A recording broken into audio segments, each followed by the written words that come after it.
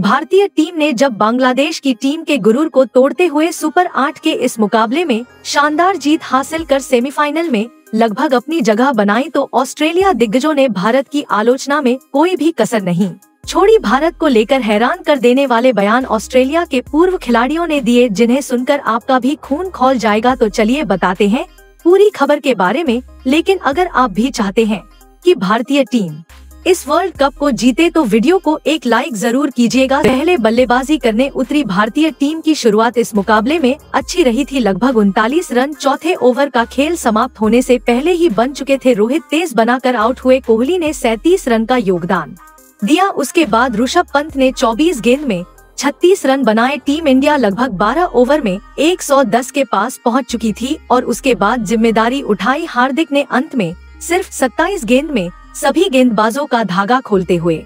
50 run जोड़ दिए और वह भी नाबाद उन्होंने अपनी इस पारी में चार चौके और तीन शानदार छक्के भी लगाई, जिसके चलते भारतीय टीम एक सौ छियानवे रन की स्कोर तक पहुँचने में कामयाब रही। भारत की मज़बूत गेंदबाजी को देखिए स्कोर।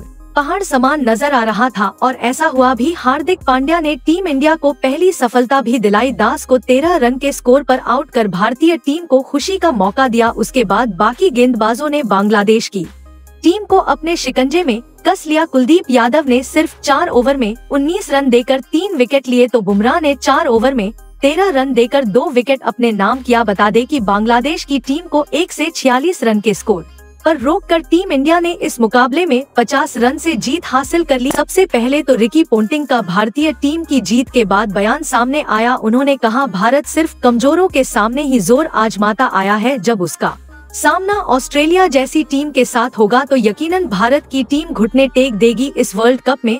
अगर देखा जाए तो भारत का अभी तक किसी भी मज़बूत टीम से मुकाबला हुआ ही नहीं है सभी कमज़ोर टीम को ही इन्होंने हराया है, जिसमें अमेरिका, आयरलैंड, पाकिस्तान और बांग्लादेश शामिल है। ऑस्ट्रेलिया से जीतना मुझे नहीं लगता भारत के बस में है। मैथ्यू हेडन ने इस बीच कहा कि ऑस्ट्रेलिया हमेशा से ही क्रिकेट पर राजा की तरह विराजमान रहा है। भारत की जीत की बात की जाए तो शुरुआत अच्छी रही है, लेकिन अंत बेकार होने वाला है, क्योंकि आगे चलकर उन्हें ऑस्ट्रेलिया के सामने मुकाबला खेलना है और ऑस्ट्रेलिया वह टीम है जिसने हमेशा आईसीसी टूर्नामेंट में भारत को बुरी तरह से धूल चटाई है और भारत कमज़ोर टीम को हराकर यह ना समझे कि वह इस बार वर्ल्ड कप जीत लेगा। फिर एक बार भारतीय टीम को फाइनल मुकाबले में हराकर हम दूसरी बार विजेता।